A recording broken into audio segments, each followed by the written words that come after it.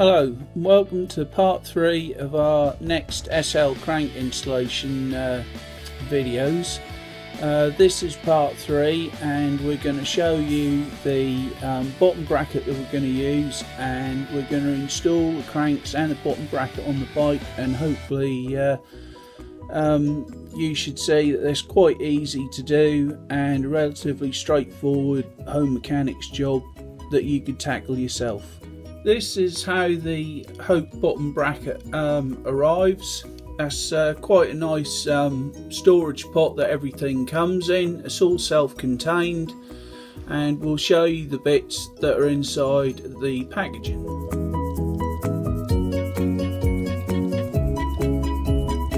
This is what's inside the pot.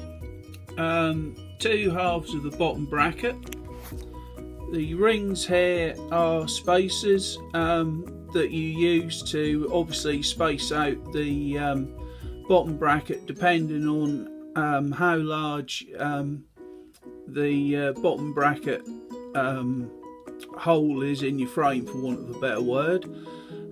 Set hope fitting instructions, the obligatory hope sticker and uh, that's that. The other thing you'll need is a hope bottom bracket spanner. This is um, specifically made by Hope for their 30mm bottom brackets. Um, it is bespoke to this particular application and as far as I'm aware it will only fit a Hope bottom bracket or a Hope 30mm bottom bracket even. Um, just a word of warning, this has either been cut out with um, a laser or with a water jet and the edges here are quite sharp. So um, at a later point I'm going to put some foam on this or um, plastic coat it but for now I shall wear a pair of gloves so I don't cut my hands to ribbons when I use it.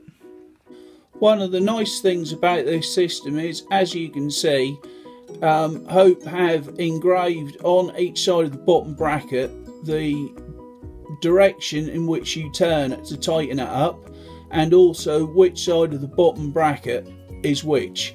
So as you can see, this side is the drive side, which would be the side where your um, chainring is. And obviously the other side is a non-drive side and uh, both of them are marked. Um, the non-drive side one has got a left-hand thread on and you thread it the opposite way around to uh, a normal bolt. But apart from that, that's pretty straightforward. The first thing you want to do before installing this into the bike is to use some grease. Um, I'm going to use this uh, grease here. Grease the threads thoroughly. Put a nice big blob on. Run them round like so. This will stop um, the bottom bracket um, getting um, stuck in the frame and will make your life a lot easier for both servicing and the life of the bottom bracket. Also, uh, I've just put some grease in the bottom bracket itself, nice good coating.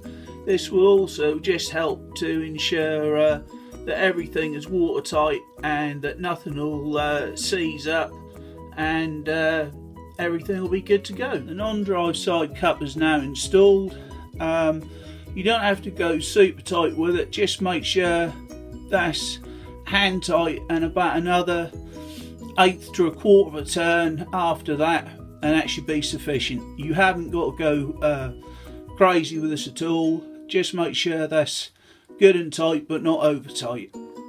Before you fit the drive side cup you must uh, be aware that you have to fit spacers to get a 50mm chain line. In my particular application, I know that I just need one of these spacers, which is two and a half mil. You just plop that over there like that, and then screw it in as you would the other side. The next thing to do is to coat the um, actual axle in some grease. Uh, this uh, also ensures smooth running and um, no corrosion. So we'll do that and then we'll go on to the next step. This is the axle greased and ready to install. This is the non-drive side, so this axle goes through from left to right. See, the axle slid through nicely. that's the non-drive side and this is the drive side so all we've got to do now is attach the uh, drive side arm and that's pretty straightforward so we'll do that this next. the drive side crank bolted up all you need to do is put an 8mm Allen key in this hole and tighten it up to about 50 newton meters. So all we have to do now is turn this uh, preload adjuster like so and you just uh, till that nip up and uh, once you do that I don't know if you can see that there's a little bolt at the top here and all you have to do is do that up so the gap is taken up and uh, that should be your cranks adjusted. I thought I'd finish this video by taking the bike outside and showing you the finished article with the pedals and the chain and everything on the bike. Um, this project was super easy to do and should take you no longer than an hour really. Um, and thank you very much for watching and we'll see you next time for another video.